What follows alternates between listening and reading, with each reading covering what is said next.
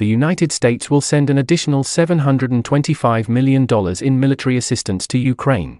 The aid comes in the wake of Russia's brutal missile attacks on civilians across Ukraine and the mounting evidence of atrocities by Russia's forces.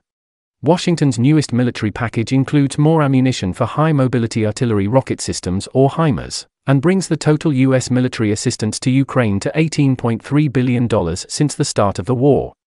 The US has sent 20 HIMARS to Ukraine and has promised 18 more that would be delivered in the coming years.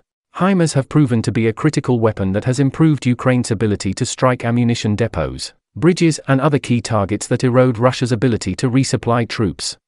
New US package is largely aimed at restocking thousands of rounds of ammunition for the weapon systems Ukraine has been successfully using in its counteroffensive against Russia as the war stretches into its eighth month. The aid announcement caps a string of commitments from allies this week. One after another in the last two days, countries large and small detailed new contributions to Ukraine's fight, underscoring the persistent fears among European nations that they could be Moscow's next target.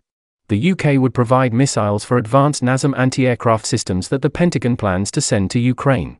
Britain also is sending hundreds of drones and 18 howitzer artillery guns. Germany has sent the first of four promised IRIS-T air defense systems, France pledged more artillery, anti aircraft systems, and missiles, the Netherlands said it would send missiles, and Canada is planning to send winter equipment, drone cameras, and satellite communications.